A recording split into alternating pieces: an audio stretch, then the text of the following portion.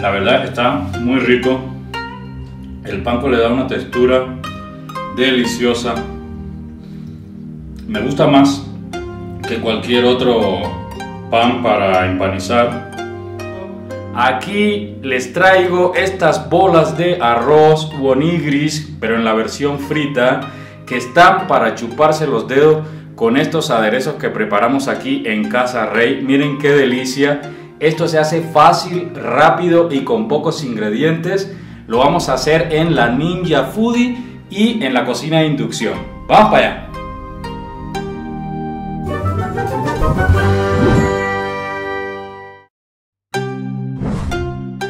Bien, estos son los ingredientes que vamos a ocupar.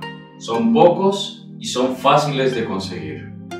El ingrediente principal es el arroz.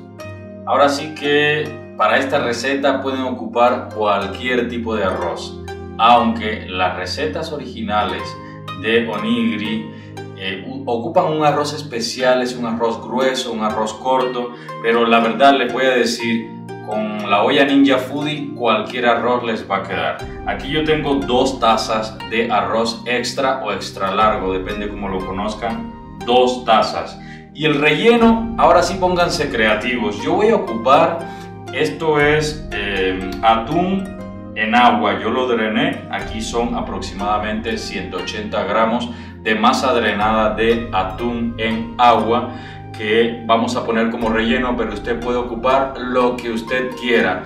Queso, puede ocupar también camarones, eh, a la mantequilla, lo que usted le guste poner. Esta receta la vamos a hacer con atún, que queda muy sabroso y ya lo he preparado y se disfruta muchísimo.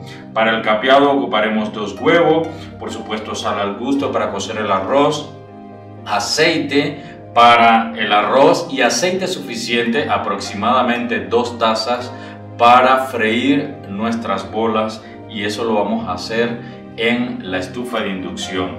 Y el ingrediente especial que vamos a ocupar en este caso es panko. Este es un empanizador japonés especial. Eh, depende de la marca y depende de la presentación, son los precios. Este a mí me salió bastante barato y es muy bueno. Tiene muy buenas calificaciones en Amazon. Les voy a dejar el link eh, en la descripción del video por si gustan adquirirlo. Esto le da un sabor especial y le da una textura bien crispy, bien, bien crujiente a nuestras bolas. Por eso lo voy a ocupar, además porque es un producto original de Japón y entonces se va a asemejar mucho a los onigiris, aunque claro, esta es una versión frita que vamos a presentar. Bien, ¿qué vamos a hacer ahora? Vamos a preparar el arroz. Pueden lavarlo o no, como ustedes gusten. Yo voy a echar las tres tazas de arroz. ¿Ah? Perdón, las dos tazas de arroz las tres tazas de agua, un chorrito de aceite,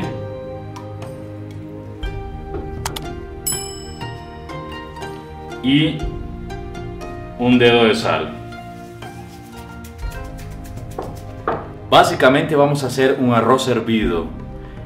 Esto es eh, lo más natural eh, es, es, el ingrediente base de los onigris o de las bolas de arroz. Si usted quiere, luego puede sazonar su arroz con pimienta, con otros ingredientes, pero yo lo voy a hacer naturalito, así, agua, aceite y sal, y por supuesto el arroz. Voy a mezclar un poquito para integrar. La olla está apagada. Y estoy ocupando aquí la olla interna de acero inoxidable no la olla que trae la olla interna que trae originalmente la Ninja, sino yo adquirí este producto. Si usted quiere adquirirlo para evitar este, rayaduras o que se le maltrate la olla original, pues bueno, en el canal tenemos un video sobre este producto. O les voy a dejar el link también de compra por si está interesado o interesada. Cerramos la olla. Prendemos la olla movemos el slide hasta la categoría de presión, bajamos a Delay Release, está bien en High, en tiempo le vamos a poner 3 minutos, ahora sí que va a ser 3 por 3 por 3, 3 minutos en presión, luego le damos aquí en Delay Release. Y luego 3 minutos en despresurización natural, le damos iniciar y después que termine de sacar la presión, esperamos otros 3 minutos para abrir. Por eso 3 por 3 por 3. Nos cercioramos de que nuestra válvula esté en la posición de seal cerrada y bueno, solo nos queda esperar. Como les dije, aquí inició un cronómetro, dice open lid, o sea, abra, abra la tapa. No lo vamos a hacer hasta que llegue a 3 minutos. En el minuto 3 abrimos deslizando aquí este slide hacia la primera posición y ya podemos abrir la tapa y nuestro arroz estará listo. Lo vamos a eh, vaciar, lo vamos a verter en este bol. Ya pasaron los 3 minutos, de hecho hasta se pasó. Vamos a apagar la olla. Deslizamos y abrimos. Bien, así está nuestro arroz. Miren. Justo como lo necesitamos para hacer nuestras bolas. Vamos a ir vaciándolo en el bol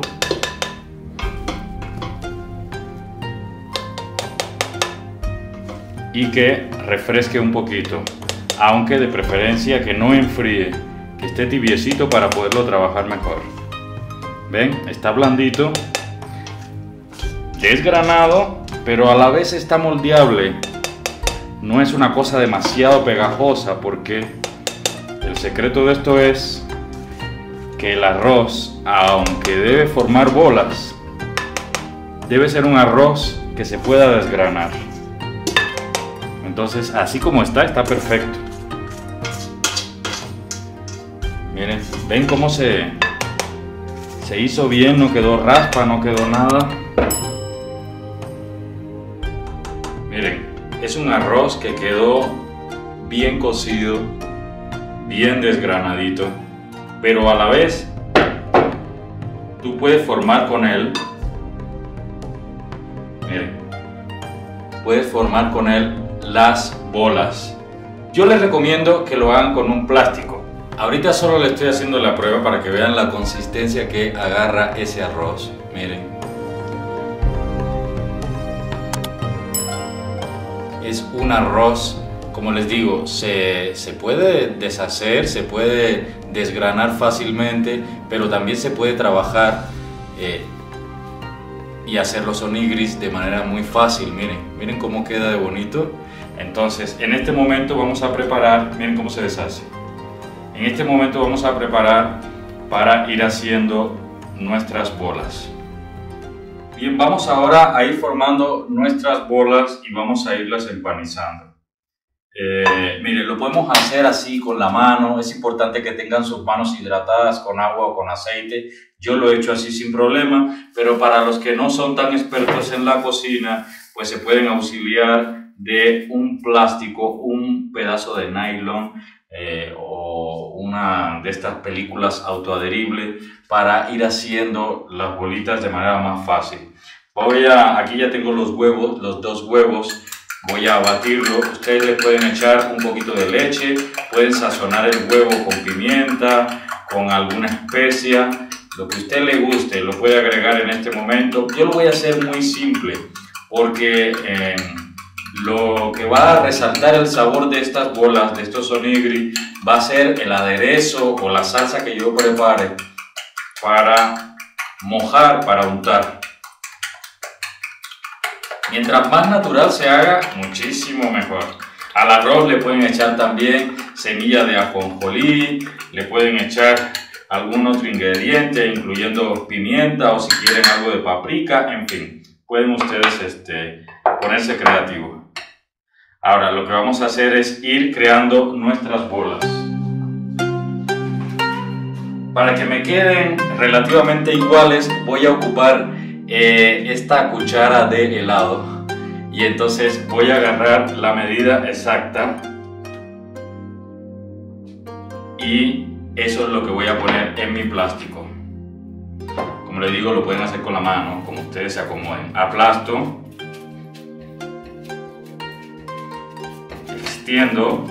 mi arroz se siente calentito todavía. Y ahora viene el relleno. Como les dije, yo voy a ocupar atún. Atún en agua, pero ustedes pueden ponerle lo que quieran. Trato de poner la misma cantidad para todos. Van a salir aproximadamente unas 15 bolas. Y miren, ya luego voy a untar todo esto y aprieto.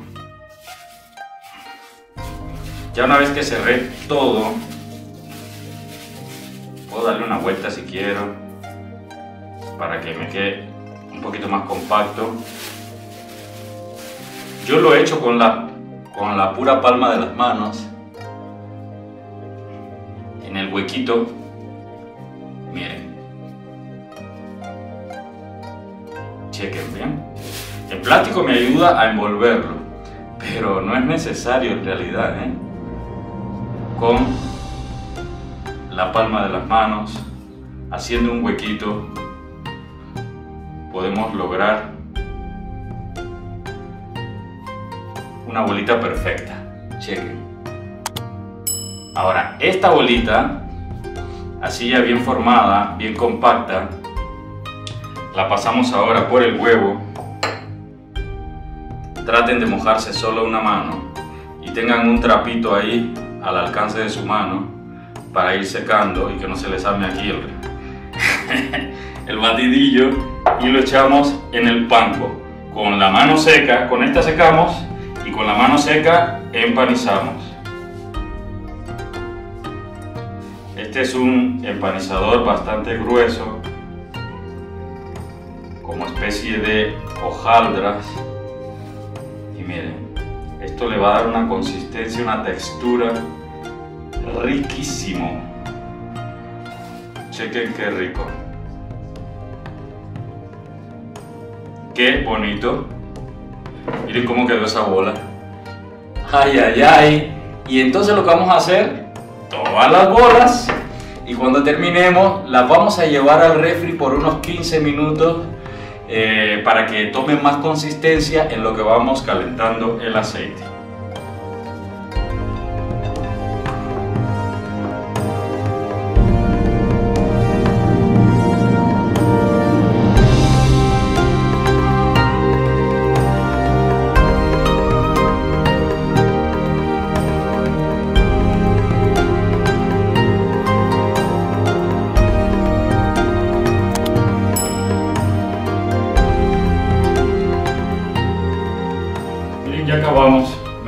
Exactamente con esa cantidad 18 onigiris, 18 bolas de arroz.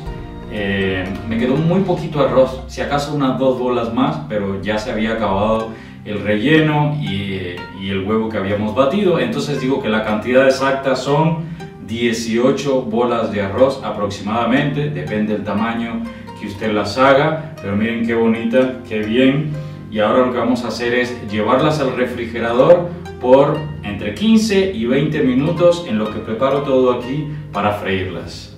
Miren, les voy a mostrar cómo quedaron. Miren qué ricas se ven estas bolas. El panco le da una consistencia, le da una textura única y miren, miren qué bonitas. Una vez que ya reposaron de 15 a 20 minutos en el refrigerador y que ya hemos preparado todo el escenario para comenzar a freír nuestras bolas, eh, miren, yo voy a poner en la estufa de inducción una ollita honda, pequeña y honda, para que el aceite cubra las bolas. Es importante que el aceite esté bien caliente para que las bolitas no chupen tanta grasa, no se desbaraten, no corre el peligro de que se vayan a desbaratar eh, y para que se haga rápido porque en un final el arroz ya está cocido y todos los ingredientes ya están listos, solo es eh, el capeado, el, el empanizado que se fría un poco, que se dore. Entonces vamos a prender la parrilla de inducción que en el canal tenemos un video sobre esta parrilla de inducción que ustedes pueden checar. Es una parrilla completamente mexicana. Encendemos le damos iniciar, voy a poner la velocidad o la potencia, mejor dicho, la potencia máxima. Voy a bloquear.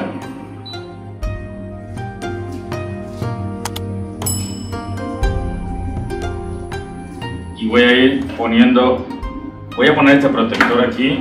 ¿Por qué no lo pongo de este lado? Porque la, la olla con el aceite se va a calentar mucho y esto tiende a pandearse con temperaturas tan altas. Sí soporta temperaturas altas, pero no tan altas como el aceite hirviendo. Entonces, para proteger de este lado voy a ponerlas.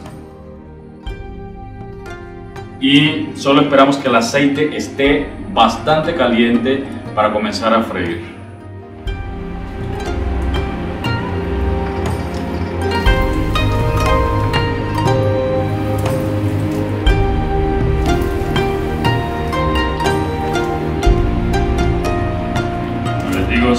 Aceite cubre bien las bolitas, pues se van a cocer de una manera más pareja.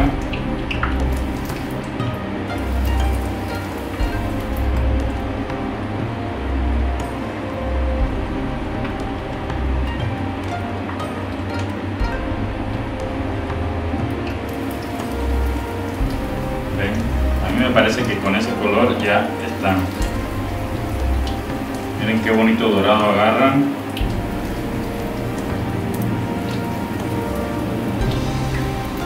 Bonito.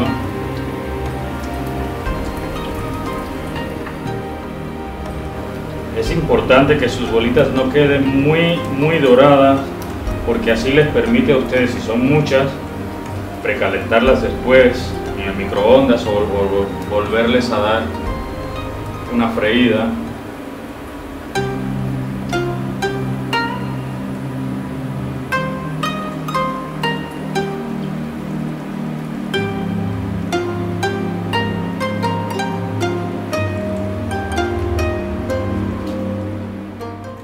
Bien amigos, ya terminamos de freír todas las bolas. Eh, salieron, como les dije, 18. Eh, traten la manera de no freírla mucho para que después si quieren recalentarla o volverle a dar una freída no les quede muy dorada. Eh, ahí preparamos dos aderezos. Ahora sí que para acompañarla ustedes pueden ocupar lo que ustedes quieran. Mayonesa, aderezos, ensaladas, ponerle miel incluso, lo que ustedes quieran. Esto es muy, muy versátil y se lleva muy bien con muchas cosas. Yo preparé un aderezo de chipotle con mayonesa y uno de mayonesa con mostaza. De más está decir que la mayonesa la preparé también aquí en Casa Rey, no fue comprada, la hicimos desde cero y está muy delicioso.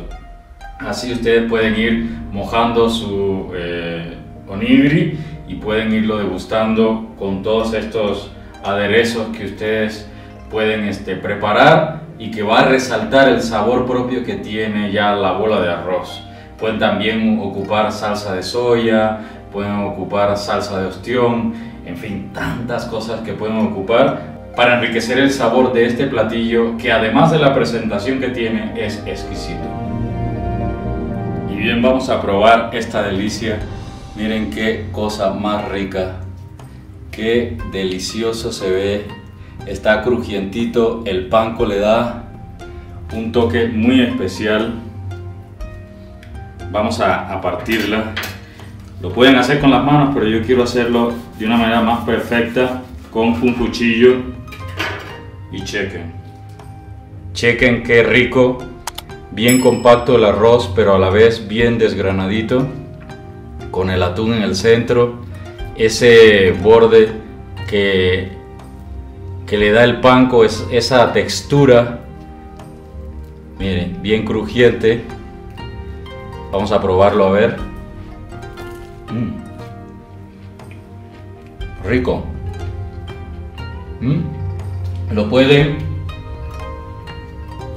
mojar en su aderezo, el de su preferencia este que es con mostaza. La verdad está muy rico. El panco le da una textura deliciosa. Me gusta más que cualquier otro pan para empanizar. Me gusta cómo, cómo se siente el sabor crujiente. Con el arroz viene muy bien. ¿Mm?